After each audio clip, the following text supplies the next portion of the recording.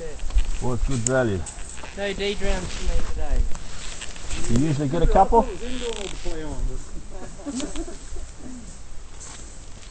Get a few at then. Where does normal the back plough? No, yeah. No, I just need D drowning as far as like falling over in the water. Yeah, Yeah, I was blaming you for most of the tractor ploughs on the corner thing. Oh, And then he was the only one in front of me and there's the skid mark off the road. Back on again! Yeah, I, uh, on that last mistake, but I think I overshot people on oh, you were blaming that on me, were you? Most of the time, yeah, because that's your normal trick. I'm, ah, shit! It was 500 you stake him up. He's a bit hard to pull up sometimes.